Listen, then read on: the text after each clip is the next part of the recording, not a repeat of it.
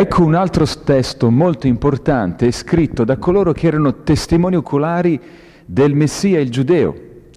E cosa interessante, come ho accennato prima, ci sono 500 ottime copie del testo in greco che riportano le sue parole, eh, copiati e hanno avuto origine dalle, da, dalle scritture dei testimoni oculari.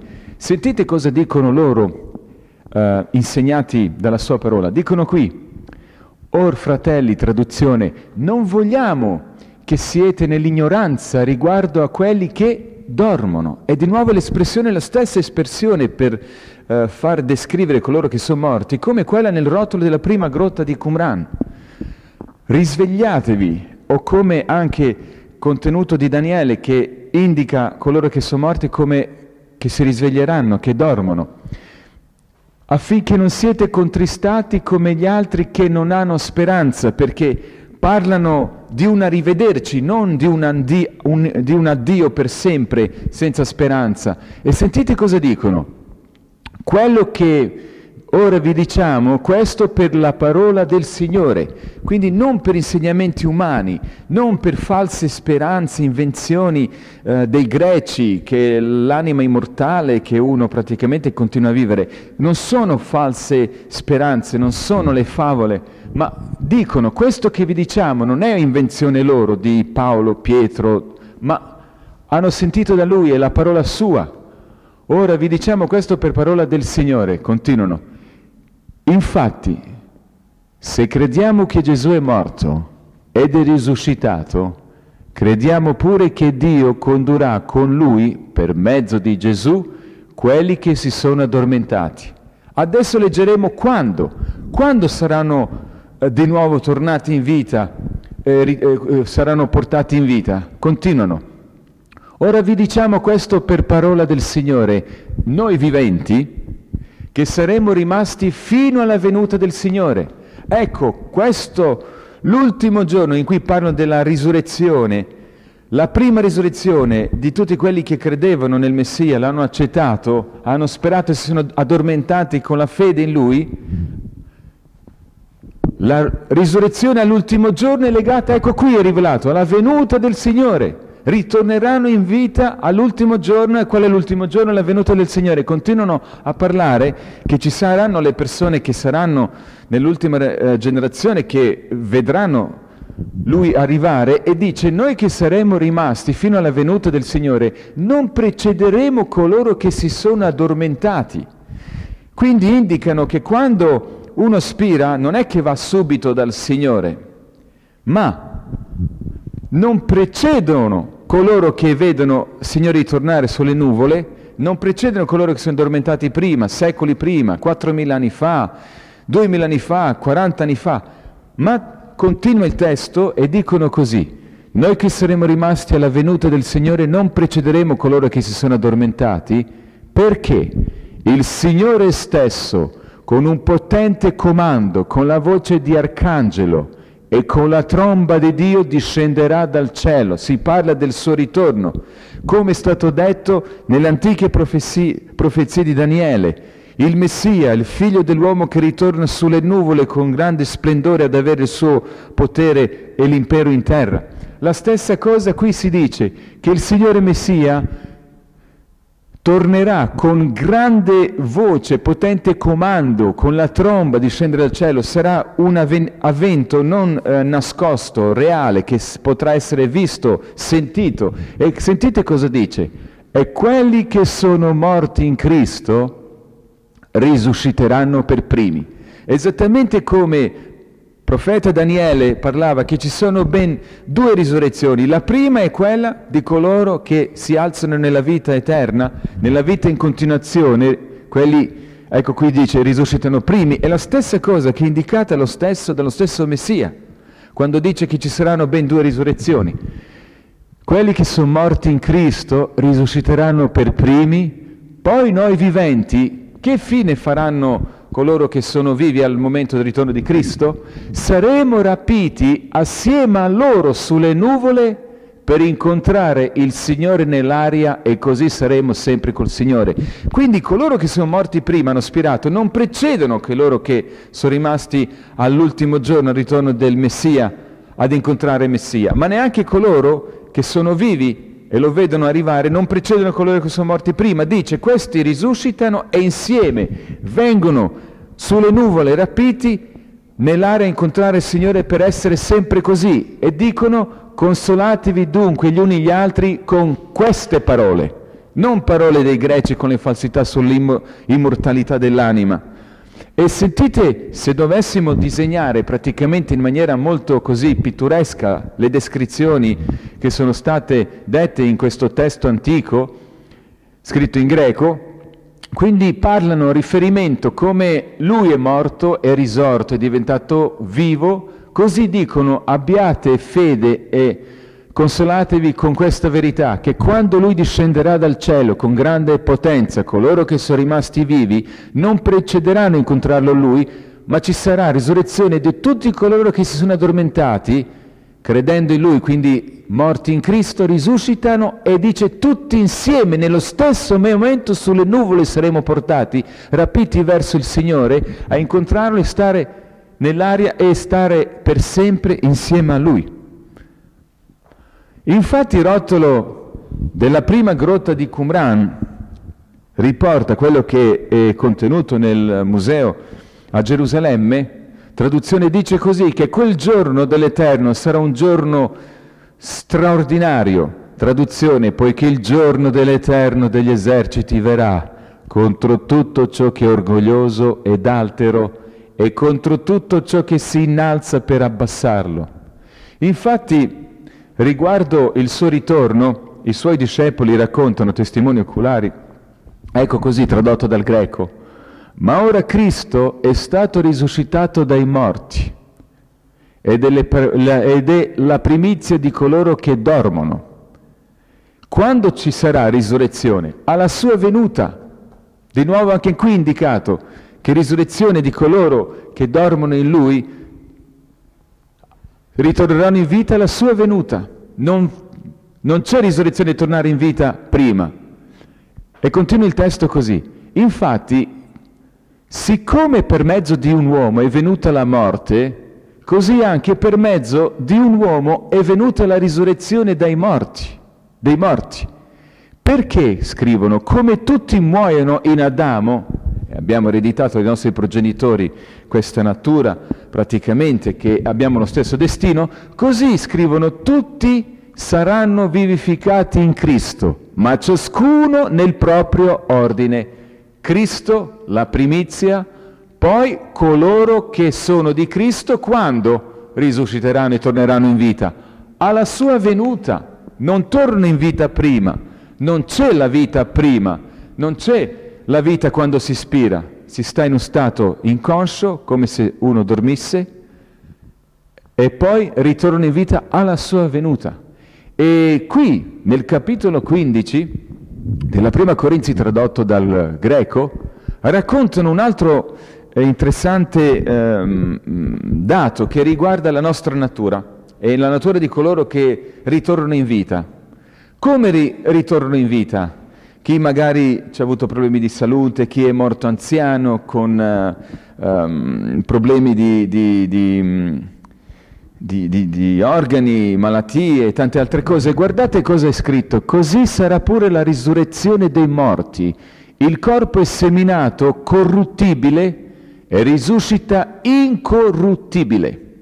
Quindi coloro che ritornano in vita alla prima risurrezione risuscitano non più corruttibili, ma con un corpo incorruttibile, un corpo sano, non più anziani con le malattie, con i problemi di salute, ma in perfetta salute con un corpo che non è corruttibile. E sentite cosa scrivono. Or questo dico, fratelli, che la carne e il sangue non possono ereditare il regno di Dio. Similmente la corruzione non eredita l'incorruttibilità. Ecco, io vi dico un mistero, non tutti morremo, ma tutti saremo mutati in un momento, in un batter d'occhio. Quindi per coloro che rimarranno ad essere vivi al momento del ritorno del Messia, Quelli che sono morti e hanno avuto speranza in Lui ritornano in vita incorruttibili, sani, non anziani e malati. Ma quelli che sono rimasti vivi fino alla, venuta del Messia, che fine faranno? Chi ha denti cariati, chi ha problemi con oh, l'osterosporosi, chi ha i problemi con, con uh, tante cose. Cosa succede con il loro corpo? Sentite qui. Ecco vi dico un mistero, non tutti morremo, ma tutti saremo mutati in un momento, in un batter d'occhio, quando? Al suono dell'ultima tromba. La tromba infatti suonerà e i morti risusciteranno incorruttibili e noi saremo mutati in un batter d'occhio. Saremo mutati poiché bisogna che questo corruttibile rivesta l'incorruttibilità e questo mortale rivesta l'immortalità. Quindi solo in questo momento, in quel momento descritto, quando ritornano in vita i morti addormentati prima, risuscitano, diventano eh, giovani, con un corpo sano, incorruttibile, coloro che rimangono vivi e vedono il ritorno del Messia, hanno avuto speranza di Lui, si sono abbandonati a Lui, in un batter d'occhio anche loro diventano mutati, cambiati con un corpo incorruttibile, sano, giovane, non più malato e soprattutto in quel momento vengono rivestiti di questo corpo incorruttibile e rivestiti dell'immortalità. La stessa scena che è stata già preannunciata nelle copie eh, della Tanakh di Daniele, che ci siano quindi due momenti di due diverse risurrezioni di ritorno in vita di coloro che hanno creduto erano, si sono abbandonati a lui e gli altri che risusciteranno in condanna. Ed è qui lo stesso Messia racconta che ci sono due diverse risurrezioni, la stessa descrizione vi è grazie al testo antichissimo in greco Rivelazione scritto in greco da un altro ebreo di nome Giovanni, che era testimone oculare di Yeshua Mashiach Nazaret, il Gesù, il Messia, re dei Giudei, che è stato sotto l'antico impero romano deportato, perseguitato su Isola Patmos qua in Grecia, e racconta che aveva ricevuto le rivelazioni riguardo il futuro. Dallo stesso essere celeste di nome Gabriel, lo stesso colui che è andato a portare le interpretazioni e spiegazioni sul futuro ad, in antica Babilonia Daniele, lo stesso su Isola Patmos in Grecia, poi non in Babilonia ma nell'antica Roma, rivela il futuro a Giovanni, questo ebreo, rivelandogli quante cose ci saranno da cadere, quelle che sono, e il futuro fino al ritorno di Messia e rinnovamento di tutte le cose, di cieli nuovi e nuova terra. E poco prima di cieli nuovi e nuova terra e rinnovamento, racconta che nel futuro ci saranno esattamente due risurrezioni. La prima, guardate qui, che è al momento del ritorno di Messia, e sentite le parole tradotte dal greco, abbiamo ottime 500 copie in greco nel, nei musei, traduzione dice così, costoro tornarono in vita, quindi prima risurrezione alla sua venuta, e regnarono con Messia, con Cristo, per mille anni. Ma il resto dei morti non tornò in vita finché furono compiuti mille anni.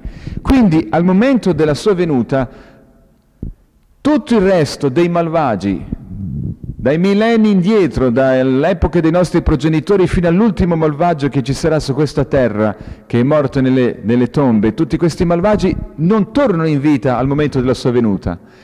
E dice così, questa è la prima risurrezione, quindi proprio si parla di due risurrezioni. La prima al momento della venuta del Messia e dice loro saranno con lui e regneranno per mille anni.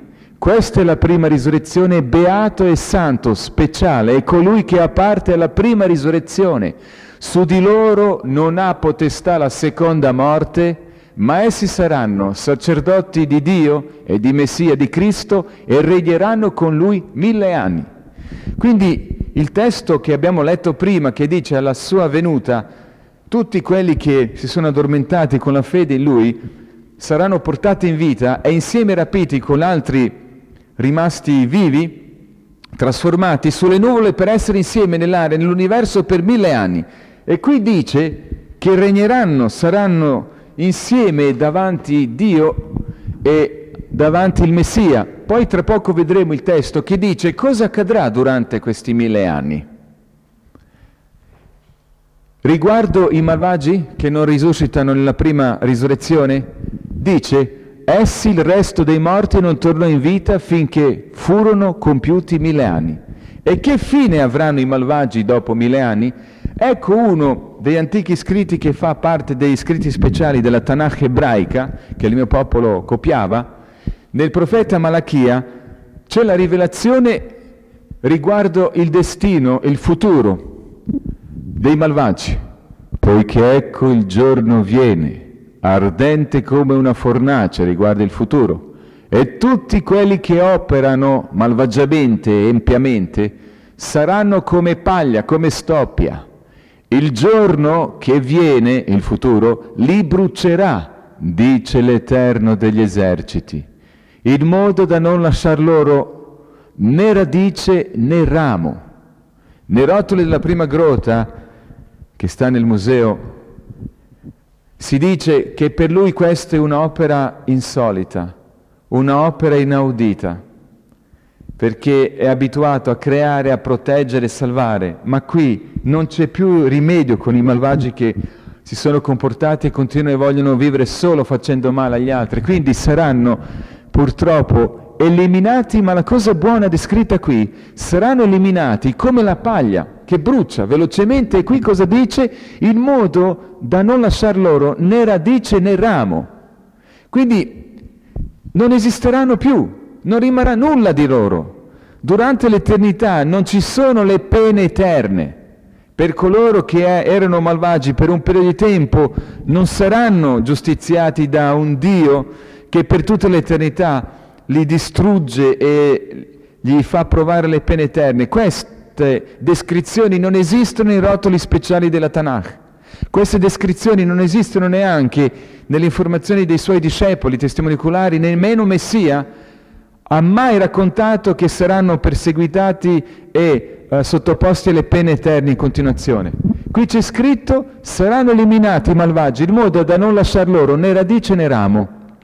Dice così, ma per voi che temete il mio nome, sorgerà il sole della giustizia con la guarigione nelle sue ali, e voi uscirete e salterete come vitelli di stalla. Finalmente non ci saranno più stupratori, non ci saranno più assassini, non ci saranno più i ladri, non ci saranno le persone di cui eh, temere, avere paura. Quindi ci sarà la gioia di coloro che saranno in vita. E dice, calpesterete gli empi perché saranno cenere sotto la pianta dei vostri piedi nel giorno che io preparo, dice l'Eterno degli eserciti. Saranno la cenere sotto i vostri piedi, non ci saranno più. Quindi una completa eliminazione degli empi, ma non soltanto degli empi, ma perfino anche degli esseri celesti che si sono ribellati. Tra poco leggeremo anche riguardo a questo. Quindi anche sull'isola Patmos, in Grecia, un ebreo nel documento che non fa parte rotoli del Mar Morto, ma tratta, tratta, le stesse descrizioni di cui Daniele e Isaia raccontavano, ritorno in vita nel futuro. Costoro non tornarono in vita, il resto dei morti, e dice coloro che sono venuti in vita regnarono con Cristo per mille anni, ma il resto dei morti non tornò in vita finché furono compiuti, compiuti mille anni. Quindi alla fine di mille anni che i salvati e vivi sono nell'universo, nelle costellazioni davanti a Dio con Cristo, e tra poco leggeremo cosa succederà durante quei mille anni, dice, dopo mille anni, dopo mille anni, il resto dei morti, malvagi, non torna in vita, ma solo alla fine che finiscono questi mille anni dalla venuta di Cristo. E cosa succederà alla fine di questi mille anni? Durante mille anni, in che condizione la terra? La terra è desolata, non ci sono esseri viventi, tutti i malvagi sono nei loro sepolcri, nelle tombe e quelli che sono riportati in vita sono nell'universo, nelle costellazioni celesti con davanti a Dio il Messia e dice per quei mille anni esseri celesti e Satana che si è ribellato con suoi accoliti sono sulla terra come legati, non possono istigare nessuno a fare del male, Tutta la loro esistenza hanno passato nel fare incitare le persone a fare del male. Questa volta si sente come legato perché non c'è nessuno che possa essere eh, tentato. E cosa succede? Dice così il testo. E quando quei mille anni saranno compiuti, Satana sarà sciolto dalla sua prigione e uscirà per sedurre le nazioni. Quindi dopo mille anni tutti i malvagi di tutte le nazioni ritornano in vita e finalmente come sciolto, non è in quella prigione durante mille anni nella quale lui e i suoi accoliti celesti caduti, ribelli, non potevano più istigare nessuno a fare del male e fare malvagità. Quindi dopo mille anni non cambia il comportamento. E qui cosa dice?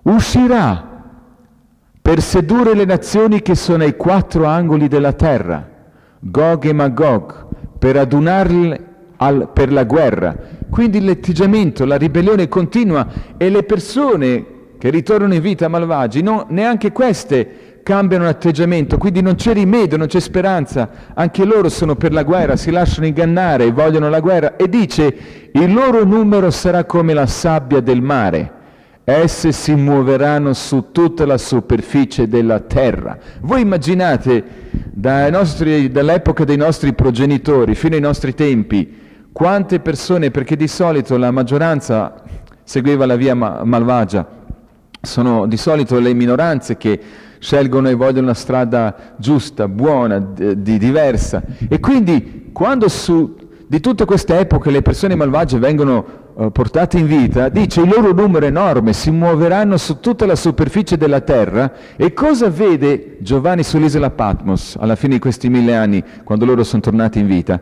Scenderà, discenderà dal cielo, dalle costellazioni celesti, una nuova città, nuova Gerusalemme tutta d'oro come un gotto d'oro praticamente, e scenderà insieme a Dio, a coloro che sono tornati in vita alla prima risurrezione, salvati, verso Monte degli Ulivi. C'è una profezia nei minori profeti che fa parte della Tanakh ebraica in cui si dice che L'Eterno, il Messia, quando ritornerà, scenderà sul Monte degli Ulivi, sullo stesso Monte degli Ulivi che c'è ancora oggi in Israele, vicino uh, Gerusalemme. Da qui ci fu la sua ascensione per andare verso l'universo e verso costellazioni celesti, così dice lo stesso punto scenderà.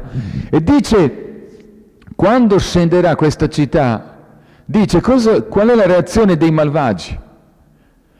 Essi si muoveranno su tutta la superficie della terra, e circonderanno il campo dei santi e la diletta città. Per muovere guerra, ma qui c'è l'intervento, dice, e così si realizzerà la profezia di Malachia, ma dal cielo scenderà fuoco, non tramite acqua, ma tramite fuoco saranno eliminati, mandato da Dio e le divorerà. Divorerà, vuol dire che non rimane niente, come fu detto in Malachia come stoppia, in modo da non lasciare né radici né ramo e diventeranno come cenere. Ma non soltanto malvagi qui, tutti i malvagi di tutti i secoli tornati in vita, ma perfino insieme a loro il ribelle e i suoi accoliti celesti caduti ribelli saranno distrutti come se non fossero mai esistiti. E durante mille anni, prima di questa scena, del, quando sarà eseguito il giudizio, sentite cosa accadrà durante mille anni perché abbiamo letto poco fa, perché Giovanni vide che coloro che tornarono in vita alla prima risurrezione, alla venuta del Messia, andranno insieme nell'universo, nell'aria, per stare insieme e regneranno durante mille anni. Vede la scena di giudizio. Cosa si farà in quei mille anni? Poi vidi un gran trono bianco e colui che vi sedeva sopra, dalla cui presenza fuggirono il cielo e la terra e non vi fu più trovato posto per loro. E vidi i morti grandi e piccoli che stavano retti davanti a Dio, e i libri furono aperti, e fu aperto un altro libro che è il libro della vita, e i morti furono giudicati in base alle cose scritte nei libri secondo le loro opere. Quindi, alla fine di questi mille anni in cui ci sarà giudizio, ci sarà l'esame di tutti quelli malvagi, saranno giudicati in base alle loro opere, perché riceveranno anche e il giudizio sarà eseguito in base alle loro opere, cosa succede? Alla fine di questi mille anni, prima che il fuoco scendesse, vedranno tutte le cose che hanno infatti durante la loro vita, vedranno tutte le cose che l'Eterno Dio ha fatto per loro. Non si poteva fare più di così. Ha dato la sua vita, ha preso le loro colpe, ha pagato per loro come ha pagato con, per quelli che sono risorti nella prima risurrezione. E questo giudizio è molto importante. Perché per altri esseri celesti nell'universo, per le persone salvate alla prima risurrezione che risuscitano, per eh, altri pianeti, è importante capire perché alcune eh, persone sono risorte alla prima risurrezione per vita in continuazione e le altre persone no, ma saranno risorte nella seconda che saranno eliminate. Quindi si fa vedere la loro vita come è andata, tutte le occasioni che hanno avuto per cambiare la vita, tutte le chiamate che hanno rifiutato, rifiutato. si vedranno tutte le loro opere, magari ci saranno le persone e infatti nel rotolo prima grotta si dice che l'Eterno distruggerà per sempre la morte e asciugherà le lacrime dal viso del suo popolo. Magari se qualcuno risuscita e non risuscita suo fratello o qualche parente, possa piangere e dire perché non è risuscitato nella prima risurrezione insieme a me? Sembrava buono, sembrava... Quando si apriranno libri e si vedrà magari che le persone avevano la doppia vita, che sembrava buono ma però magari era stupratore, oppure un mafioso uccideva e non si sapeva nulla. Quindi durante mille anni si potranno sapere queste cose qua e si capirà, sarà chiaro, sia per esseri celesti dell'universo, sia per altri abitanti del pianeta, sia per stessi salvati che sono risolti la prima risurrezione, perché altre persone risuscitano non nella prima risurrezione della vita in continuazione, ma nella seconda per essere eliminati. E questo giudizio, questa scena, viene vista alla risurrezione seconda dei malvagi che vedono tutte le cose prima che il fuoco scendesse, cosa è stato fatto per loro e cosa hanno rifiutato e come si sono comportati e quello che l'Eterno ha fatto per loro ma non hanno accettato. E dice così, essi saranno giudicati, essi furono giudicati ciascuno secondo le sue opere. Non tutte le persone hanno fatto le stesse malvagità. Parliamo di Erone, per esempio, oppure di Hitler. Si sta parlando di, di centinaia di milioni di persone. Non può essere messo allo stesso pari con chi ha fatto soffrire uccidere 15 o 5 persone. Quindi, durante questi mille anni e il giudizio viene fatto e saranno giudicati e sarà eseguito in base alle loro opere. Esattamente ritorneranno indietro come antichi rotoli della Tanakh raccontavano, le copie della Tanakh di Geremia e Ezechiele, dice che i malvagi riceveranno sulle loro teste esattamente le cose che hanno fatto soffrire gli altri. Quindi alla fine mille anni, la sofferenza che sentiranno mentre quel fuoco li elimina sarà esattamente pari in base alle loro opere che hanno fatto, sentiranno tutto indietro quello che hanno fatto gli altri e saranno eliminati come non fossero mai esistiti. E dice poi, la morte e l'Ades, la tomba, furono gettati nel stagno di fuoco, questa è la morte seconda. E si vede in questa descrizione che da questa morte non c'è più ritorno in vita, non esistono più. Così si realizzeranno le parole descritte in Malachia. Il giorno viene che gli empi malvagi saranno come stoppia, verranno bruciati in modo, dice l'Eterno, da non lasciar loro né radice né ramo. E dice saranno come la pianta, come la, sotto le piante dei giusti, come la cenere. E dice sotto i vostri piedi, non esisteranno più.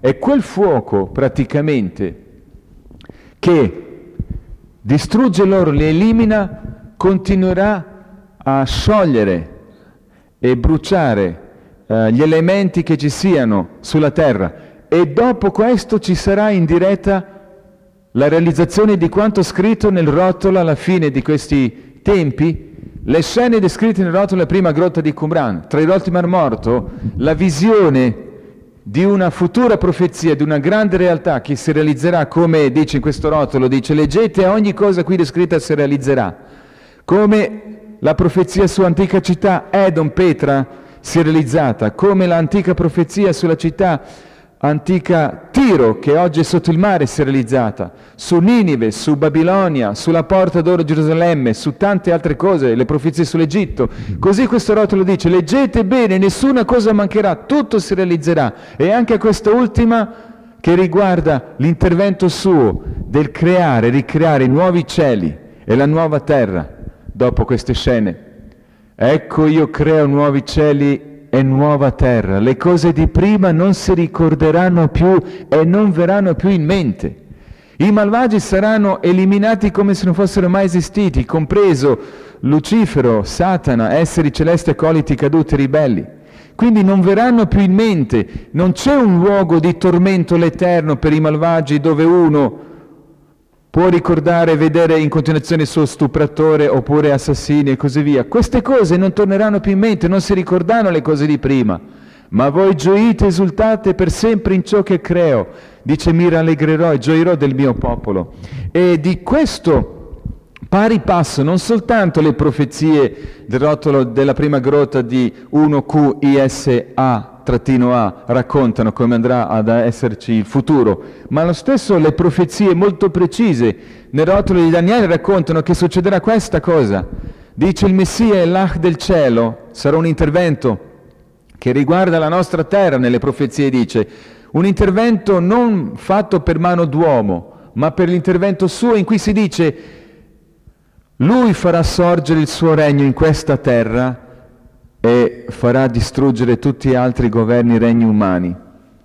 La stessa cosa si vede, lo stesso è descritta sull'isola Patmos, anche da testimone oculare Giovanni, e se dovessimo dipingere queste scene la sequenza potrebbe andare così. Quindi ci sarà il momento del ritorno del Messia, sulle nuvole, come anche le profezie di antichi rotoli, anche profezia della Tanakh di Daniele dice, verrà sulle nuvole e ci sarà risurrezione, ritorno da, da, dai morti in vita, saranno presi sulle nuvole, saranno portati per mille anni sopra. Il suo ritorno, dice, sarà un ritorno visibile e reale, scrive sull'isola Patmos ebreo Giovanni. Ecco, egli viene con le nuvole e ogni occhio lo vedrà. Non è un evento nascosto, simbolico, è reale. E tutte le tribù della terra faranno cordoglio per lui, tutti lo vedono. La stessa cosa è descritta anche nel rotolo della prima grotta di Qumran, quello che è nel museo. Traduzione, lo sguardo altero dell'uomo sarà abbassato e l'orgoglio dei mortali sarà umiliato, soltanto l'Eterno sarà esaltato in quel giorno. Dice il rotolo prima grotta, traduzione all'ebraico, beati tutti quelli che sperano in Lui. Quel giorno è legato alla risurrezione e la speranza del suo ritorno è legata al più bel giorno, è quello di rivedere i nostri cari che sono morti e avere speranza di rivederli vivi, sani, riabbracciarli. E così, traduzione del rotolo prima grotta di Qumran dice, svegliatevi ed esultate o voi che abitate nella polvere. Ci sarà questo risveglio la tua rugiada è come la rugiada di una luce sfavilante, la terra darà la luce ai morti. Mi ricordo mio padre due anni fa quando si è addormentato a causa di un uh, tumore al pancreas. Siccome alla fine della sua vita ha accettato il Messia, ha accettato l'Eterno, ha accettato, si è abbandonato a Lui, ai suoi meriti, e ha cercato rifugio dentro di lui, ha preparato in anticipo e organizzato il suo funerale. Al suo migliore amico aveva, che lo trattava come ricordava, come fratello, aveva dato tutte le indicazioni riguardo il funerale. Gli ha dato la foto, quale stampa da fare per l'annuncio della, della morte, eh, gli ha richiesto i sottofondi musicali, i messaggi da dire a, ai suoi figli, alla sua piccola figlia, nostra sorella, e alla sua moglie e così via. E una cosa che ha detto che mi ha colpito molto è questa. Ha detto per le persone che non sanno cosa succede con le persone quando uno spira, disse così.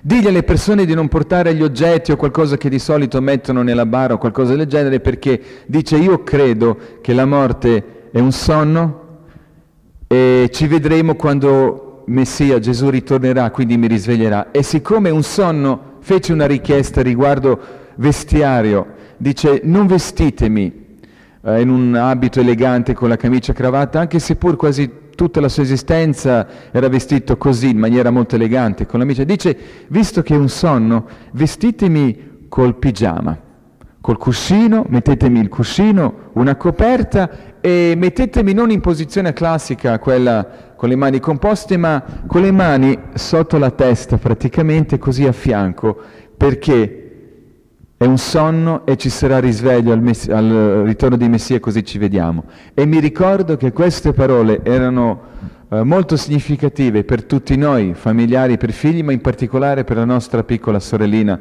che aveva una età molto fragile, circa intorno a 9-10 anni. Quindi questa speranza di cui parlano i rotoli del Mar Morto, rotoli della prima grotta, è una speranza grande e forte, quasi certezza perché tutte le profezie di antichi rotoli e dei rotoli della prima grotta si stanno realizzando. E questa speranza di questo giorno in cui il rotolo della prima grotta dice così riguardo il futuro, distruggerà per sempre la morte Adonai, l'Eterno, asciugherà le lacrime da ogni viso, toglierà via da tutta la terra il vutiperio del suo popolo, perché l'Eterno ha parlato. E dice Rotoli prima grotta, quando tornerà sarà uh, un giorno uh, di grande splendore, ma anche terribile, perché ci saranno due reazioni delle persone, dei vivi, coloro che sono malvagi hanno rifiutato le chiamate e coloro che non hanno accettato. Gli uomini entreranno nelle caverne, i malvagi reagiranno così, delle rocce e negli antri della terra davanti al terrore dell'Eterno e allo splendore della sua maestà. Sarà come quasi la statua, una cosa di grande splendore e anche di grande terrore della sua maestà quando si leverà per far tremare la terra. Ci sarà grande terremoto. Capitolo 24 del rotolo di prima grotta di Qumran, che è esposto nel museo, racconta cosa succederà il giorno in cui l'Eterno si alzerà e tornerà e farà tremare la terra, ci sono lì descritte le cose, e tutti i malmagi non riusciranno a sopravvivere la scena di queste glorie, saranno praticamente eliminati, distrutti, e poi dopo mille anni saranno riportati per vedere il giudizio e ad avere il giudizio eseguito in base alle loro opere. La terra, come abbiamo vista, se dovessimo disegnare in maniera così, in base alle descrizioni del, del racconto di rivelazione di uh, Giovanni ebreo sull'isola Patmos, è desolata per mille anni, non c'è nessuno. E i nemici esseri celesti, ribelli, accoliti, sono praticamente come in una, prigione, in una prigionia chiusi senza poter ingannare gli uomini. E durante mille anni non soltanto che sono giudicati uh, i malvagi di tutti i tempi, ma anche perfino esseri celesti, perché devono ricevere per tutto il male che hanno istigato gli umani a farlo e anche loro saranno eliminati. E quindi racconto, grazie alle copie del greco che ci sono nei musei di questi antichi scritti, uh, dall'ebreo Giovanni su Isola Patmos, che racconta le simili cose che sono scritte nei rotoli antichi, dice scenderà dal cielo questa nuova Gerusalemme, si poserà, alla fine mille anni risorgono praticamente malvagi, non giovani, non in salute, ma esattamente come si sono addormentati e continuano con la loro stessa malvagità di prima, ingannati di nuovo e anche lo stesso Lucifero, Satana con i suoi accoliti e ribelli malvagi non vogliono cambiare idea ma continuano ancora la ribellione contro Dio e cercano di attaccare la diletta città e l'accampamento, ma il fuoco dal cielo, dopo che hanno visto le scene di quanto è accaduto in loro vita e di quanto l'Eterno ha fatto per loro, vedono l'esito del giudizio e del quanto è visto nei libri, alla fine viene eseguito il giudizio che ognuno riceve secondo le opere che ha commesso nel passato e così vengono eliminati sia i malvagi che sia esseri celesti caduti. Quel fuoco che discioglie e elimina loro, trasformandoli in cenere, continua a purificare la terra. Sapete quante eh, testate nucleari abbiamo nella terra, ehm, la spazzatura radioattiva, tutte queste cose qua, come dice uno dei testimoni oculari ebreo, Pietro, Simon Pietro, nella sua seconda epistola, dice la stessa cosa come qui rivelata a Giovanni sulla sul, um, rivelazione. Dice che noi aspettiamo, dice, il ritorno del Messia, Signore, che tornerà, e ci sarà il fuoco, il fuoco che scioglierà dissolverà tutti gli elementi della terra praticamente e dice aspettiamo la ricreazione dei nuovi cieli dopo questa purificazione col fuoco della terra, nu- creazione di nuovi cieli e nuova terra, esattamente le stesse cose che sono descritte nel rotolo della prima grotta di Qumran, esattamente le stesse cose che si vedono anche descritte praticamente nel Malachia, che fa parte dei scritti degli antichi della Tanakh, che col fuoco, non con l'acqua ci sarà questa purificazione. E dopo vede che la terra viene creata nuova, i nuovi cieli, la nuova Gerusalemme ci sarà in mezzo, praticamente la capitale del nostro pianeta su questa terra e così si realizzano le profezie sia del rotolo della prima grotta e si realizzeranno anche quelle di Daniele che farà sorgere il suo impero ma non sul, su una parte del nostro pianeta, su tutta la terra. Questo intervento farà che ci sarà la pace, giustizia in tutta la terra. Ecco si realizzeranno le profezie del rotolo della prima grotta che anche animali saranno vegetariani, pasceranno erba e perfino agnello, leone potranno camminare insieme. Si dice che i eh, salvati di tutti i secoli potranno contemplare la faccia dell'Eterno, il Messia in mezzo a loro e di tutti i salvati di tutti i secoli, vedere e conoscere anche esseri celesti che hanno contribuito a che venissero e fossero in quel luogo lì. E ovviamente tutte queste cose si possono sapere grazie perché anticamente l'Eterno Elohim Adonai nei rotoli antichi, che abitanti di Qumran copiavano anche il mio popolo ebraico nella Tanakh, hanno avuto queste informazioni perché non fu l'uomo, ma l'Eterno a rivelare sia le cose che riguardano il futuro, le cose che sono accadute nell'antico passato, anche prima dell'esistenza del nostro pianeta, e anche le cose reali che riguardano la nostra natura e riguardano quanto accade quando uno spira e la speranza e certezza che si può avere di una vita che ci sarà nel futuro come rivelata in questi rotoli. Grazie per la vostra attenzione.